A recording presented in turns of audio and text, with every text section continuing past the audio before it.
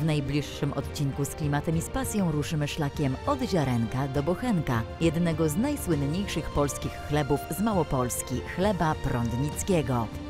Piekli go tak jak tu na tym zdjęciu. Z Krakowa oryginalnie zdjęcie z piekarni krakowskiej. Wchodzę do piekarni i widzę na ścianie pokazane jest, że ciasto się mieszało nie tylko maszynami, bo maszyn nie było, nogami. Wszyscy są zaskoczeni. Z klimatem i z pasją. Niedziela, Polsat News, 16.30.